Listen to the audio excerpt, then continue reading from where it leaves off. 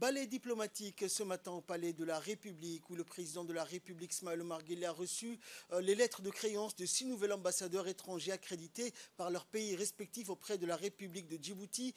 Il s'agit en premier de la nouvelle ambassadrice Dana Pourcarescu, ambassadrice extraordinaire et plénipotentiaire de la République française.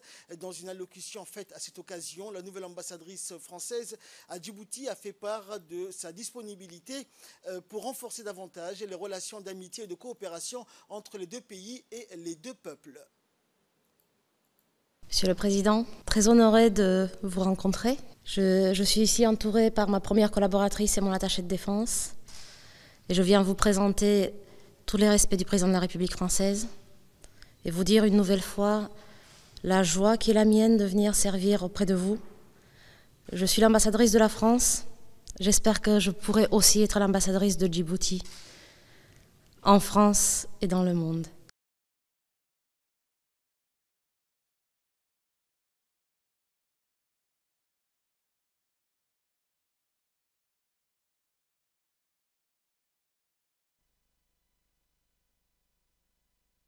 La diplomate française s'est réjouie de l'excellente relation d'amitié existant entre la République de Djibouti et la République euh, française.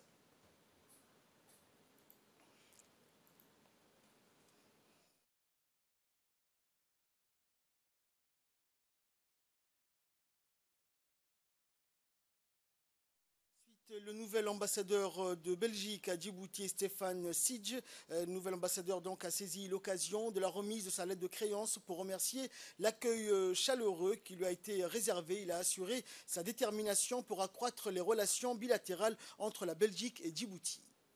Monsieur le Président, bonjour. Mon nom est Stéphane Thès.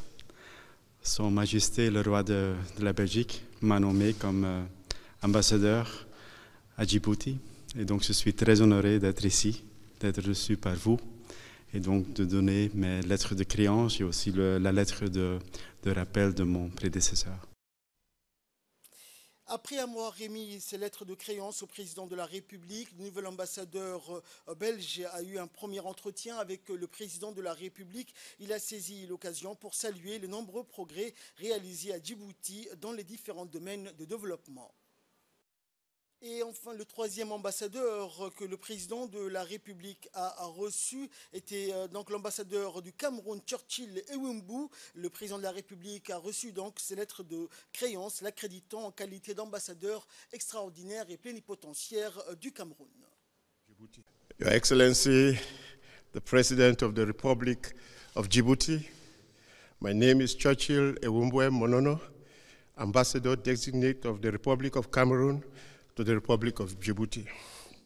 I would like to thank you, Excellency, for the privilege and honor you have bestowed on me today to solemnly present the letters of credence by which your brother, His Excellency Paul Biya, President of the Republic of Cameroon, accredits me as Ambassador, Extraordinary and Plenipotentiary to the Republic of Djibouti with residence in Addis Ababa.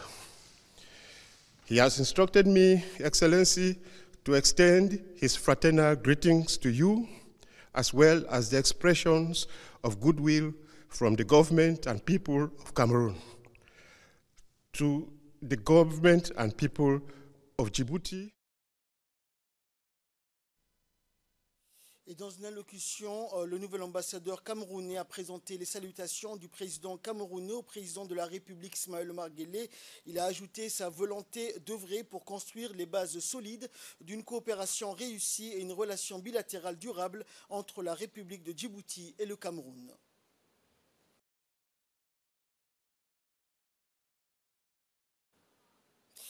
Et le président de la République, Ismaël Omar a reçu, toujours dans la matinée d'aujourd'hui, au Palais de la République, les lettres de créance du nouvel ambassadeur du Brésil, Jandir Ferrara.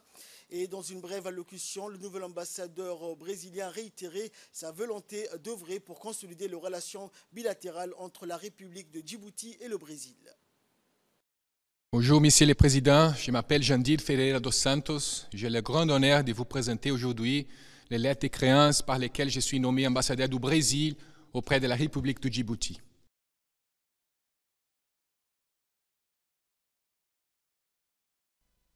Et le nouvel ambassadeur brésilien a loué le rôle majeur de Djibouti dans la stabilisation et la pacification euh, dans la région sous le leadership du président de la République, Ismaël Omar Guelleh.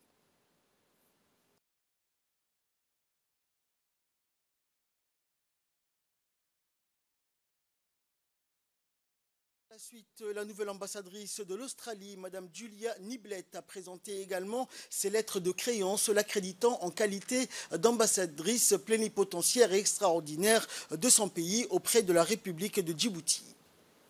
Good morning, Your Excellency, Honourable President of the Republic of Djibouti. My name is Julia Niblet. I am the Ambassador designate from the Commonwealth of Australia. It's my great honour today to present to you the letter of recall of my predecessor and my letter of credence. I extend to you the warmest wishes from Australia's Governor General, from the Government of Australia, and from the people of Australia. And I look forward very much to strengthening the warm bonds of friendship between our two countries.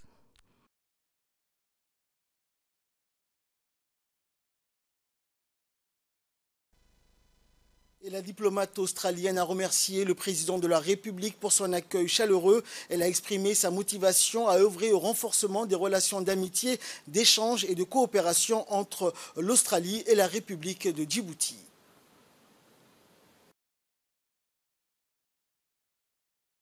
Et enfin, le président de la République, Smaël Marguerite, a reçu les lettres de créance euh, du nouvel ambassadeur de la Corée du Sud, Kang Siko.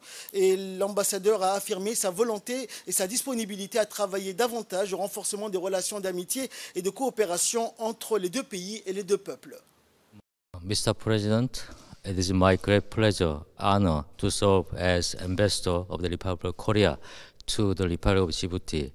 I will do my best facilitate the cooperation between Korea and Djibouti.